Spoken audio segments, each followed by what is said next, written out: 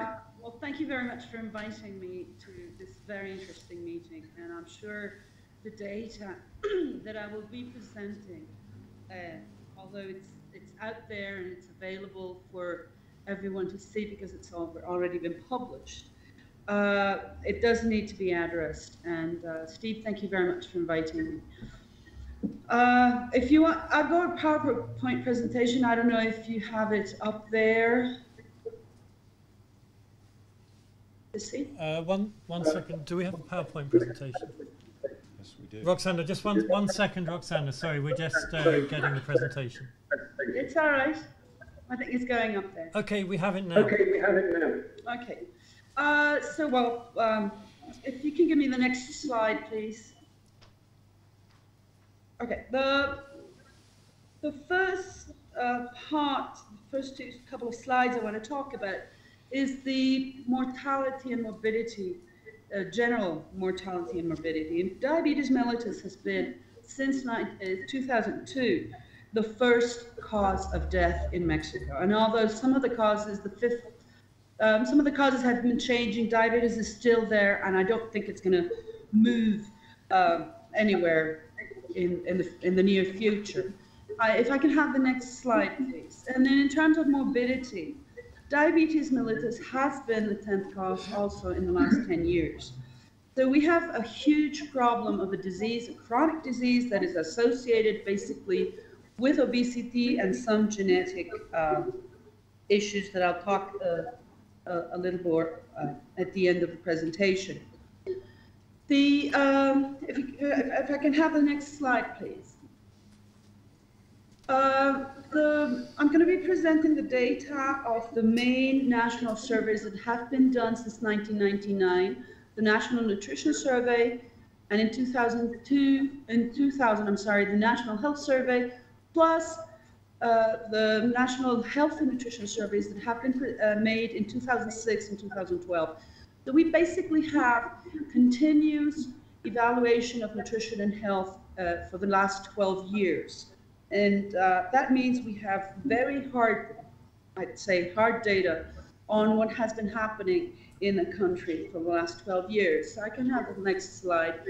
And this, this one's the first, uh, with respect to diabetes mellitus type 2, where we can see that there's been an important increase in the last 12 years in adults of uh, presence of diabetes. And uh, data from 2006 to 2012 are really alarming.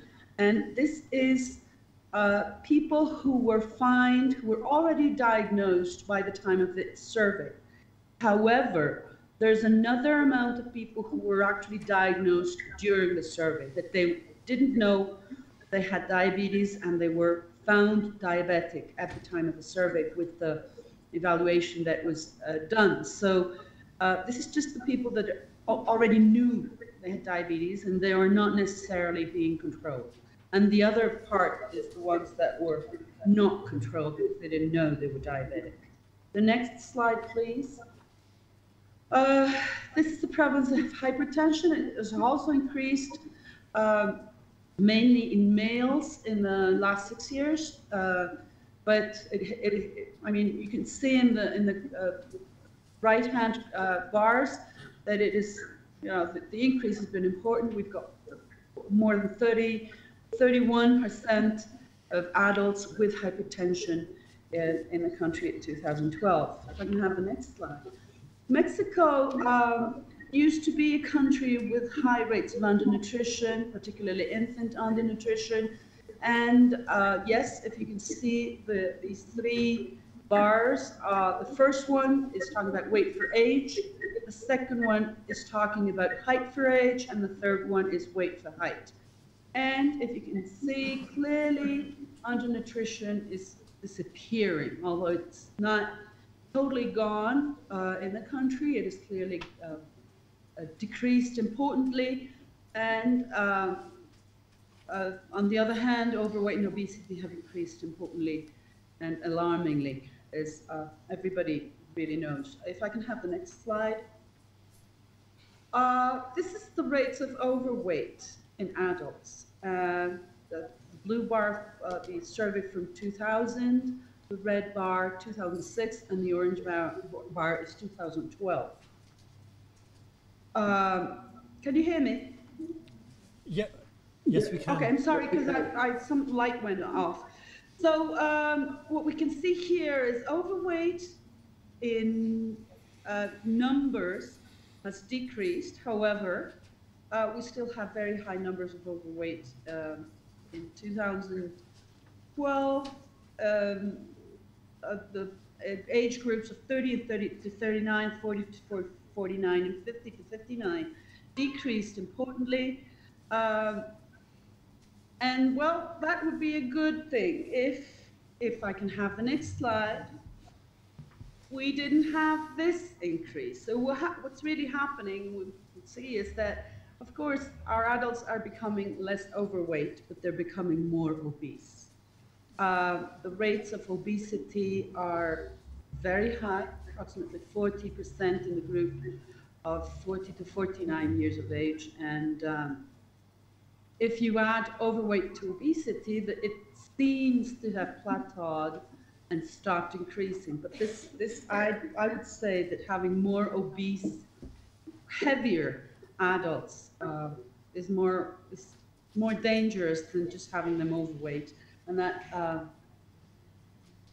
this is uh, something that's really scary. So we're having an increase in the the the bad or the worst part in the overweight um, issue in Mexico. We are at present, I think, the first um, uh, in uh, adult obesity and also in, uh, in child obesity. I'm not presenting any data on children, but um, the trends are the same exactly. We've had an, an, an, important increase. And the other thing that's happening is that we're diagnosing type 2 diabetes mellitus in young uh, young adults, in young children, something that used to be um, uh, diagnosed mostly in, at um, above 40 years of age, but now we're having them in young adults and adolescents and, uh, and young children. So that's uh, a trend that we don't, we evidently don't like. Uh, what is causing this? Well, I don't think I'm going to say anything new to anybody. If I can have the next slide. Uh, the main, the, there's three main reasons why we're having this obesity and overweight and obesity epidemic in the country, plus uh, chronic diseases. There has been an important decrease in regular physical activity due to increased urbanization.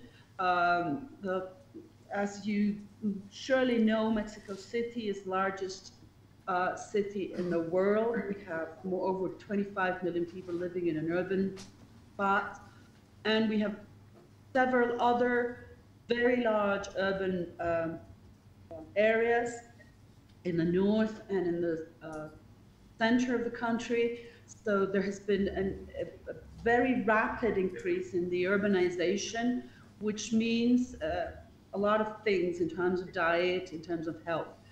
The population is walking less to work, to school. People are using more motorized transportation, um, either the car or the public transportation, and that means that they're doing less regular, non-programmed exercise. And then also, there has been an de important decrease in leisure exercising spaces, mainly due to insecurity, uh, the increase in um, in, in, in delinquency and criminality uh, uh, joined, you know, by the urbanization has made people not wanting to go to parks, not want, wanting to jog or, or run around uh, their, their houses, you know, the, and, and the kids used to go out a lot and play, play football or other sports outside, and that's not uh, allowed anymore in certain areas because of the insecurity. So that's uh, de decreased importantly the uh, physical activity levels in the whole country. And then again, um, the, uh, the second main cause, I would say, is the change in the type of food. First, this uh, presence of uh, increased fast food that Steve was talking about. We have uh, a very, very large amount of franchises that are selling uh, fast food around the country, and you can find them basically in small towns and in big towns and in the city and everywhere. And then um, the, the issue of female labor. More women are going out to work, which means that they cannot stay at home cook for their families, and that means they're increasing of fast foods. And then there's the, the, the ethnicity issue.